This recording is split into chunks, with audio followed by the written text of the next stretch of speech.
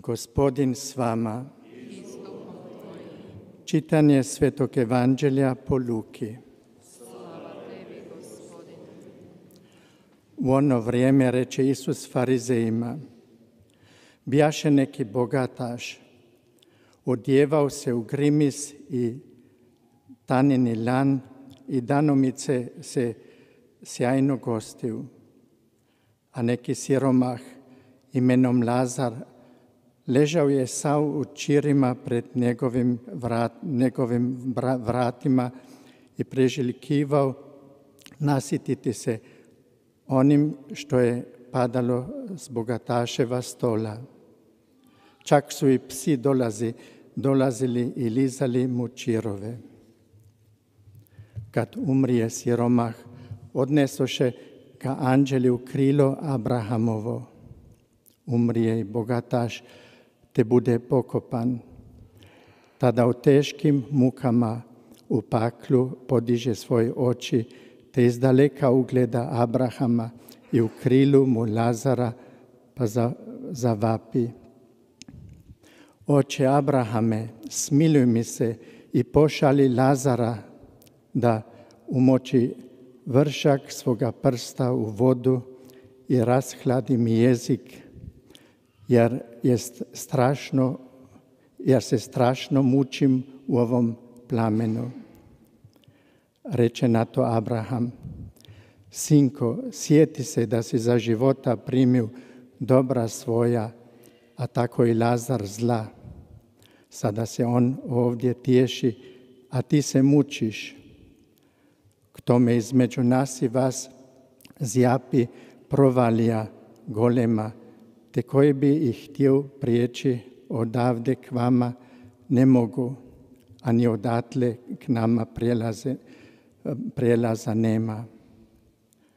Nače, na to će bogataš. Molim te onda, oče, pošali Lazara u kuću oca moga. Imam petoro braće, pa neka im posvjedoči da i oni ne dođu u ovo mjesto muka. Kaže mu Abraham, ima, imaju Mojsija i pre, proroke, njih neka poslušaju. I on će, o ne, oče Abrahame, nego dođe li tko od mrtvih k njima, obratit će se, rečemo. Ako ne slušaju Mojsija i proroka, neće povjerovati sve da je od mrtvih tko ustane. Riječ gospodnja. Slava tebi, Kriste.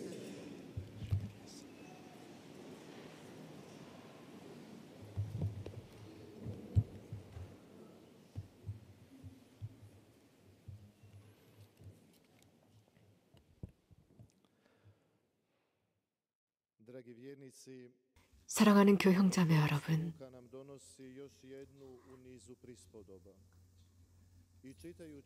루카복음 사가는 여러 많은 비유들을 소개하고 있고 우리는 그 이러한 비유를 묵상합니다. 예수님께서 매 vjernika.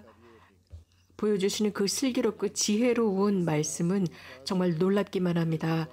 오늘 복음에서 굉장히 중요한 사건을 보여주고 있습니다. 예수님의 메시지, 하늘나라에 관한 예수님의 그 메시지는 숨겨져 있다는 것입니다. 아주 작은 일상 속에 숨겨져 있습니다. 가끔씩은 아무 소용이 없는 듯이 보입니다. 전혀 중요하지 않은 듯 보입니다. 하지만 그런 작디 작은 것 속에 우리들의 삶을 위한 매우 중요한 요소가 있다는 것입니다. 예수님께서는 우리가 작은 것을 잘한다면 큰 것도 잘할 수 있다고 하셨습니다. 오늘 복음에서. 부자와 라자로의 에피소드를 들었습니다. 두 가지의 삶의 스타일이 매우 다릅니다.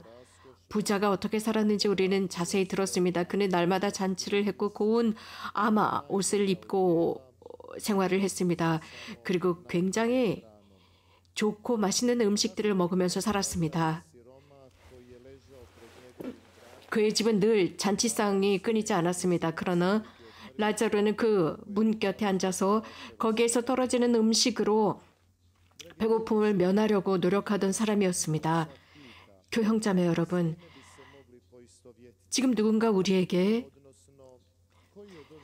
어, 이를 무엇과 비교할 수 있느냐라고 묻는다면, 즉 여러분들에게 라자로와 부자 중에 어떤 사람이 되고 싶냐라고 묻는다면 우리는 이 스토리의 끝을 알기 때문에 라자로라고 대답할 것입니다. 부자라는 여기에서 등장하는 사람은 부정적으로 표현이 되었습니다. 이런 이 부자가 되고 싶어 하지 않습니다.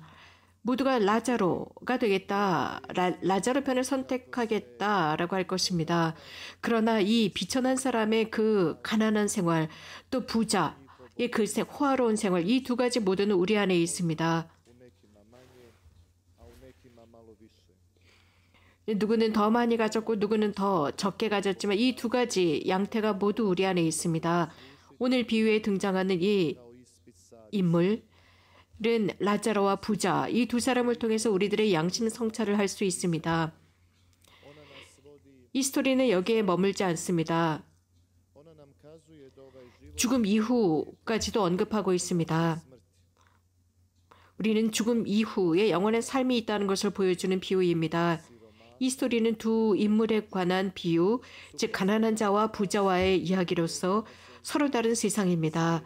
이미 이 지상에서도 서로 달랐지만 영원한 삶으로 들어가서도 두 사람의 삶은 정반대로 달라집니다. 그 영원한 삶 속에서 죽음 이후에 너무나도 다른 삶이었습니다.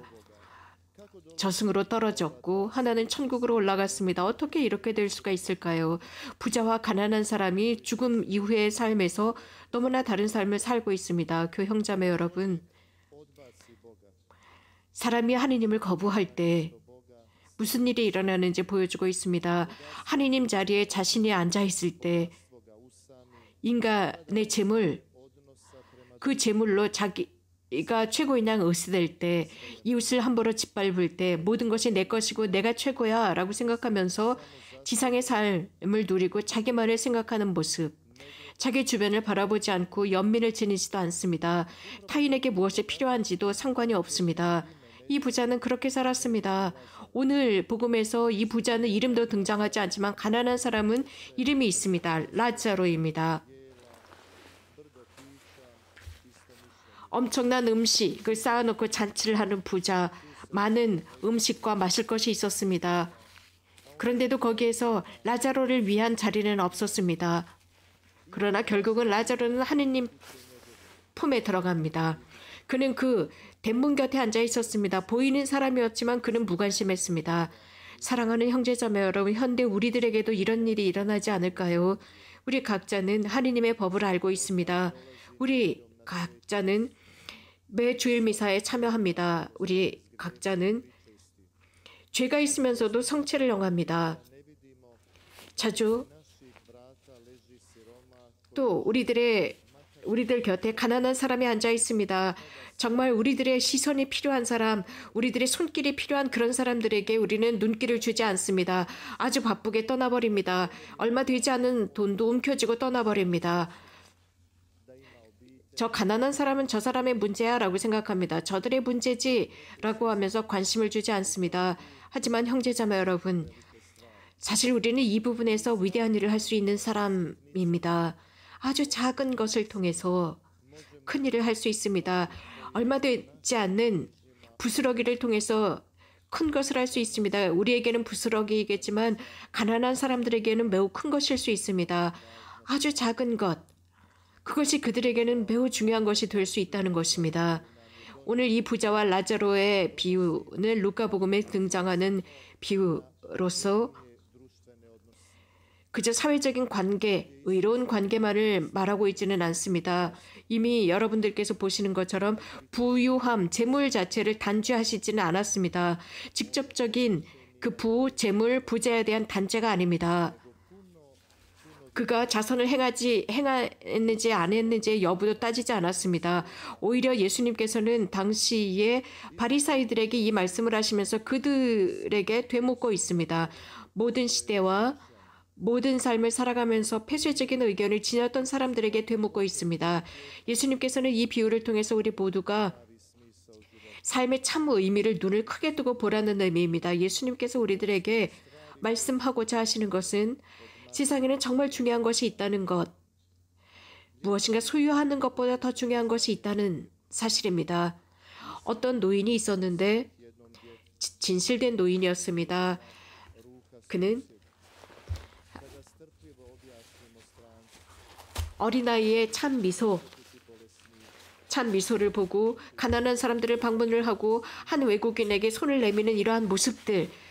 사실 돈이 드는 일이 아닙니다. 하지만 우리가 이런 작은 제스처를 할 때 상대방에게는 굉장히 큰 행위가 될 수 있고 삶을 바꾸는 기회가 될 수 있습니다. 오늘 비유에서는 우리들에게 신비를 보여주고 있습니다. 상처 앞에서의 관계, 예수님께서 라자로라가 부르는 그 가난한 사람, 그 가난한 사람이 상처를 받고 대문에 앉아 있었다라는 그 사실. 우리는 이것을 인식하든 인식하지 않든 간에 분명 우리 주위에는 이런 사람들이 있습니다. 어쩌면 우리가 이렇게 상처받고 죄로 상처받고 그런 문 곁에 앉아 있을 수 있, 앉아 있는 사람일 수 있습니다. 오늘 복음은. 우리들에게 인간의 한 상태를 보여주고 있습니다. 어느 특정한 사람이 아니라 일반적인 전체적인 인류의 상태를 보여주고 있습니다. 이 비유는 예수님께서 유일하게 우리들에게 들려주신 비유로서 거기에 이름이 등장하는 비유입니다. 라자로입니다. 그는 역사적인 인물은 아니었습니다.